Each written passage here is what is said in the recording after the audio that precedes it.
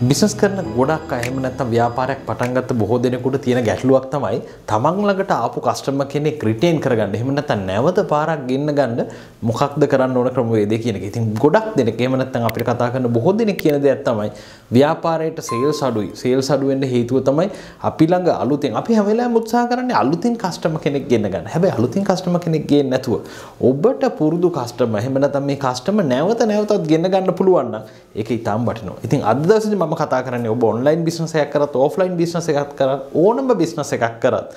ඔබට පුළුවන් නම් ඒ කස්ටමර් රිටේන් කරගන්න ඒකට අවශ්‍ය ක්‍රම හතක් ගැන තමයි අද දවසේදී කතා කරන්නේ. ඉතින් අපි බලමු මොනවද මේ ක්‍රම හත කියලා. මේකෙදි පළවෙනි ක්‍රමවේදය තමයි ඔබ ඔබේ ගනුදෙනුකරුවත් එක්ක අපි ටච් එකේ ඉන්න ඕන කියලා කියනවා. එහෙම නැත්නම් ඔබ හැම වෙලාවෙම ඔහුත් එක්ක ඉන්ටරැක්ට් වෙන්න ඕනේ. ඒ කියන්නේ ඔහු සමග ගනුදෙනුවක් එහෙම නැත්නම් ඔහුට යම්කිසි මැසේජ් එකක් දෙන්න ඕන. එහෙම නැත්නම් ඔබ ව්‍යාපාරයත් එක්ක එකතු වෙනවා කියන එක දක්වන්න ඕන. ඉතින් මම මේකට හොඳම උදාහරණයක් ගන්නම්. ඔබ ගත්තොත් එහෙම ලංකාවේ තියෙන ෆාස්ට් ෆුඩ් චේන් එකේ අපි ගමුකෝ පීසා හට්, මැක්ඩොනල්ඩ්ස් මේ වගේ එකක් මොකද ඔවුන් කරන්නේ ඔබ මුලින්ම භාණ්ඩයක් මිලදී ගන්න ගියපු වෙලාවේ ඔබේ මොබයිල් නම්බර එක අනිවාර්යෙන්ම ඔවුන් ලබා ගන්නවා. ඊට පස්සේ ඔබට දැකලා ඇති මේකේ ප්‍රොමෝෂන්ස් ඔබට එනවා. ඒ විතරක් නෙවෙයි ලංකාවේ තියෙන සුපර් මාකට් ගත්තත් අද මේ දේ කරනවා. ඉතින් ඔබට පුළුවන් නම් ඔබේ කස්ටමර් බේස් එක මේ විදිහට අඳුරගත්තට පස්සේ ඔවුන්ට පොඩි රිමයින්ඩ් එකක් යවන්න. එහෙම නැත්නම් ඔවුන්ට ඉන්ටරැක්ට් කරන්න. අපි හිතමුකෝ යම්කිසි කාලවල එනවා ඔබට දෙන්න පුළුවන් ඩිස්කවුන්ට් එකක්. මේ ගැන දැනුවත් කරොත් ඔවුන් ඔබ කරා නැවතෙනවා. උදාහරණයක් විදිහට ගමු. අපේ කස්ටමර් කෙනෙකුට අපිට දෙසැම්බර් මාසේ හරි අප්‍රේල් මාසේ හරි යම්කිසි දෙයක් ඔබට ලබා දෙන්න පුළුවන් නම් ඔබ පොඩි මැසේජ් එකක් යවුවොත් මේක කරන්න පුළුවන්. ඉතින් මේක හැම බිස්නස් එකකම කරන්න පුළුවන්. මම උදාහරණයක් ගන්නම් සැලූන් එකක් සැලූන් එකක් කරන කෙනෙක් වුණත් මේ වගේ ඩේටාබේස් එකක් හදාගත්තොත් ඔහුට රිමයින්ඩ් එකක් යවුවොත් ඔහු හැම වෙලාවෙම එන්ගේජ් වෙනවා, ඉන්ටරැක්ට් වෙනවා. ඉතින් මේක තමයි අංක එකේ ක්‍රම විදිහට ඔබට පාවිච්චි කරන්න පුළුවන්.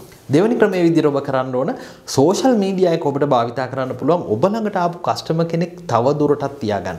ඉතින් මම මේකට උදාහරණයක් විදිහට ගන්නම් ඔබ Facebook page එකක් තියාගෙන ඉන්නවනම් මේ Facebook page එක හරහා ඔබට interact කරන්න පුළුවන්. ඒ විතරක් නෙවෙයි ඔබ product එක sell කරාට පස්සේ අපි ඇත්තටම භාවිතා කරන්නේ නැහැ. WhatsApp business WhatsApp වගේ එකක් ගත්තොත් එහෙම ඔබට පුළුවන් dedicated number එකක් දෙන්න. ඒ number එක හරහා WhatsApp හරහා ඔබට පුළුවන් අවශ්‍ය විස්තර ලබා ගන්න.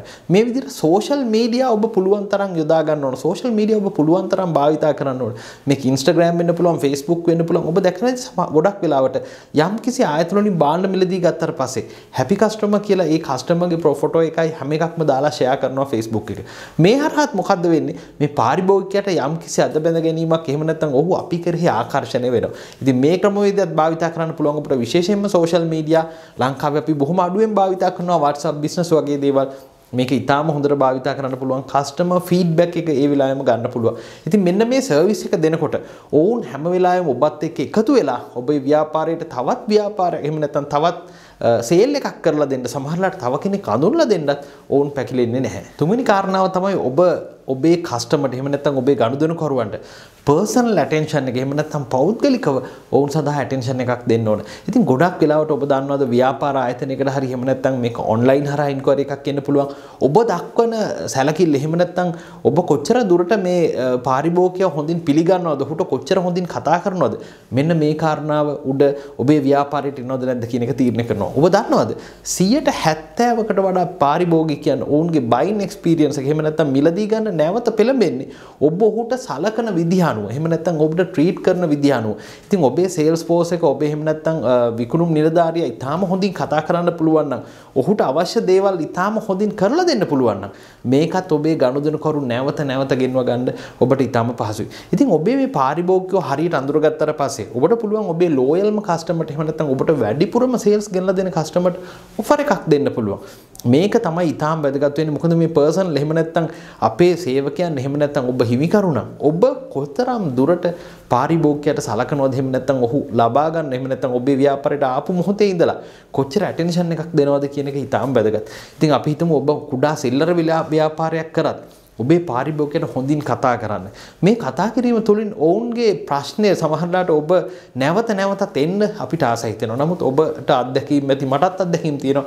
බොහෝ වෙලාවට සමහර ස්ථානවලට ගියහම ඔබට ඊටාම සැරපරුෂ එහෙම නැත්නම් අපිව ගණන් ගන්නේ නැති තත්ත්වයකට කතා කරනවා. ඒ වගේ වෙලාවට මොකද වෙන්නේ? අපිත් අතර මේ ෂොප් එකට නැවත යන එක නැති වෙනවා. හැබැයි ඒ වගේම තමයි තවත් සමහර ස්ථාන තියෙනවා. අපිව ඊටාම හොඳින් පිළිගන්නවා. සමහරලාට අපිට යම් කිසි දෙයකින් සංග්‍රහ කරන්න පුළුවන්. මෙන්න මේකත් ඊටාම වැදගත්. මොකද මොකද ඔබ සලකන ආකාරය මත තමයි ගනුදෙනුකරුවෙක් නැවත එනවද නැද්ද කියන එක තීරණය කරන්නේ. හතරවෙනි කාරණාව තමයි ඔබ පාරිභෝගිකයේ ගැටලු කොතරම් දුරට විසඳනවද කියන කාරණේ. මේක ඊටාම වැදගත් ඔබට රිටේන් කරගන්න එහෙම නැත්නම් කස්ටමර් නැවත නැවත ගෙන්වා ගන්න.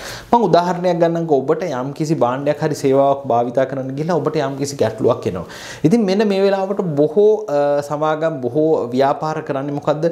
මේකට FAQ එකක් දාලා තිනවා frequently asked questions දාලා තිනවා. එහෙම නැත්නම් chatbot කෙනෙක් දාලා තිනවා. එහෙම නැත්නම් ඔබට ඔන්ලයින් උත්තරයක් ගන්න පුළුවන් ස්වයංක්‍රීය සේවාවක් ලබා දීලා තියෙනවා. ඔබ දන්නවද 175ට වඩා වැඩි පාරිභෝගිකයන් පිරිසක් විශ්වාස කරන්නේ නැහැ මේ විදිහට chatbot හරි එහෙම නැත්නම් ස්වයංක්‍රීය සේවා මගින් ඔවුන්ගේ ගැටලුව විසඳ ගන්න පුළුවන් කියලා. විශේෂයෙන්ම ඔවුන් යම්කිසි දෙය සේවාවක් හරි භාණ්ඩයක් හරි අරගෙන ඒකට නිසි පිළිතුරක් හම්බ වෙන්නේ නැත්නම් ඒක නිසා මේක අපි හොඳින් තේරුම් ගන්න ඕන.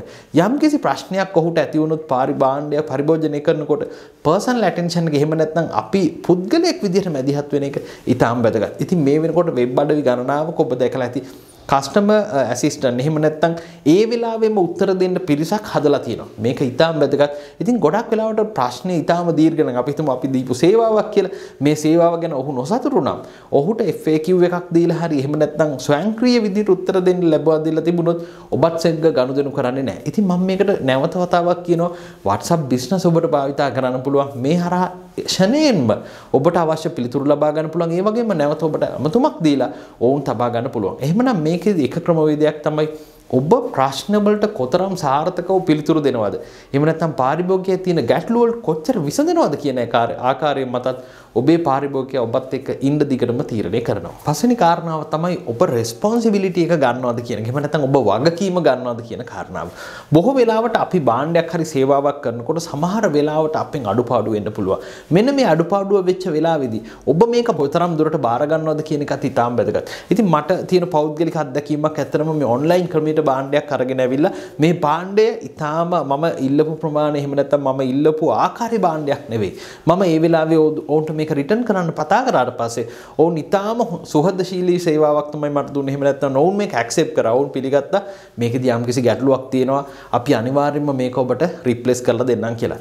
මෙන්න මේකත් එක්ක මම නැවත වතාවක් ඒ ආයතනයෙන් බාන්න ගන්න පෙළඹුණා. ඔබට පේනවා ඇති එහෙමනම් ඔබ කොතරම් දුරට මේ රෙස්පොන්සිබිලිටි එක ගන්නවද? ඒ කියන්නේ ඔබ අතින් ඩිෆෙක්ට්ස් එකක් වෙලා තියෙන පුළුවන්. ඔබ අතින් අඩුපාඩුවක් වුණොත් මේක ගන්නවා නම් ඒක ඊටාම් වැදගත්. ගොඩක් වෙලාවට ව්‍යාපාර ආයතනයකට ඔබ සමහර වෙලාවට ඔබ වගකීම ගන්නේ නැහැ. ඒක ඔබතුමාගේ වැරද්දක් කියලා කිව්වොත් අපිට නැවත වතාවක් ගෙන්නා ගන්න බැරි වෙයි. සමහර වෙලාවට ඔහුගේ අතින් වැරද්දක් වුණොත් ඔබට යම්කිසි ආකාරයෙන් මේකින් කතා කරලා ඔහුට යම් කිසි විසඳුමක් ලබා දෙන්න පුළුවන්. ඒ නිසා ඊළඟ කාරණාව විදිහට ඇත්තන්ම රෙස්පොන්සිබිලිටි එකක් ගන්න එක ඉතාම වැදගත්. ඊළඟ කාරණාව තමයි ඔබ පාරිභෝගිකයෙකුට කොතරම් ඉක්මනින් ප්‍රතිචාර දක්වනවද කියන කාරණාව. සාමාන්‍යයෙන් පිළිගත් ක්‍රමවේදයක් තමයි ඔබ ඊමේල් එකක් දාලා තිබුණොත් පැය 24ක් ඇතුළත මේකට රෙස්පොන්ඩ් කරන්න ඕන කියන කාරණාව.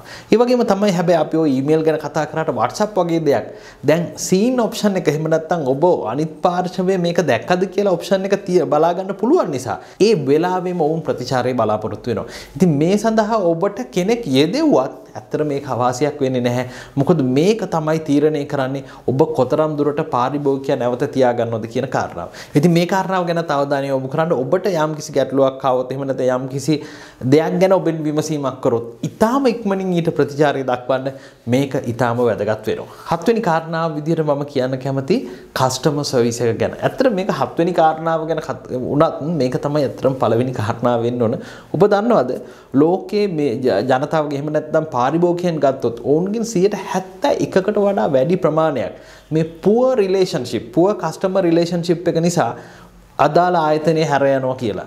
ඒ කියන්නේ මේකට හේතුව තමයි මේ ඔබට ඉන්න කස්ටමර් සර්විස් එහෙම නැත්නම් මේ මුලින්ම ඇමතුම ගන්න පුද්ගලයා මුලින්ම හමු වෙන පුද්ගලයා කොතරම් දුරට සුහදශීලී වෙනවද කියන කාරණාව. ඉතින් ඔබට පුළුවන් මේ ගැන අවධානය යොමු කරන්න. ඉතින් විශේෂයෙන්ම මේ ගැන කරනකොට කස්ටමර් සර්විස් ගැන වෙනම ඔබට ට්‍රේනින් එකක් ලබා දෙන්න පුළුවන් ඔබේ ඉන්න එම්ප්ලොයිස්ලට. මොකද මේ මේක ඊටාම වැදගත්. මොකද මතක තියාගන්න ඔබ මේක ඔබේ ආයතනයේ සිකියුරිටි ගාඩ් කෙනෙක් ඉන්නවනම් ආරක්ෂණ නිලධාරියා ඉන්නවනම් ඔහු ඉඳලා ඒ වගේම ඔබේ ආයතනයේ තේ පිළියෙල කරන කෙනා හැම කෙනාගේ ළඟම මාකටිං එකක් තියෙන්න ඕනේ. එහෙම නැත්නම් ආයතනයට එන ඕනම කෙනෙක් සුහදශීලීව පිළිගැනීමේ හැකියාවක් තියෙන්න ඕනේ. ඉතින් මම කිව්වා වගේ ඔබ ඔබේ ඉන්න සේවකයන් එහෙම නැත්නම් විශේෂයෙන්ම කස්ටමර් මුණ ගැහෙන සේවකයන් හොඳින් ට්‍රේන් කරන්න ඕන ඔවුන්ට ඉතාම හොඳ සේවයක් ලබා දෙන්න. ඔවුන් මේ ගන්න ඇමතුම එහෙම නැත්නම් ඔවුන් ඔවුන් සමග සම්බන්ධ වෙන ආකාරයෙන් පාරිභෝගිකය එක්ක සම්බන්ධ වෙන ආකාරයෙන් එය තීරණය කරනවා මේ පාරිභෝගිකයෝ නැවත වතාවක් එනවද කියලා. ඉතින් ඔබේ සේවකයන් මේ සඳහා පුරුදු පුහුණු කරන්න මේ සඳහා කස්ටමර් සර්විස් ගැන වෙනම සෙෂන් එකක් කරන්න.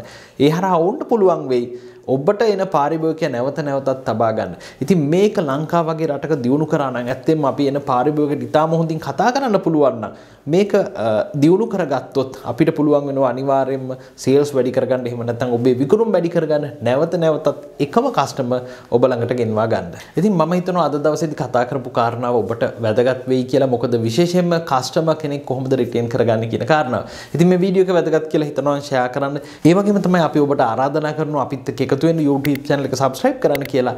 ඒකට හේතුව තමයි අපි හැමදාම උදේ 7 වෙනකොට ඔබට අලුත් business idea එකක් දෙන්න සූදානම් වෙලා ඉන්නවා. ඉතින් අපිත් එක්ක එකතු වුණොත් හැමදාම ඔබ නොහිතන ආකාරයේ business idea එකක් ලබා ගැනීමේ හැකියාවක් තියෙනවා. ඉතින් අපිත් එක්ක එකතු වෙනකොට Facebook එකත් එක්ක එකතු වෙන්න පුළුවන්. Facebook එකේ business advisor page එක තියෙනවා, group එක තියෙනවා, ඒ වගේම Instagram, LinkedIn, Twitter මේ හැම එකකින් business advice ඉන්නවා. අපිත් එක්ක එකතු වෙන්න කියලා ආරාධනා කරනවා. ඉතින් එහෙමනම් තවත් මේ වගේ වීඩියෝ එකකින් ඉතා ඉක්මනින් හමුවෙමු.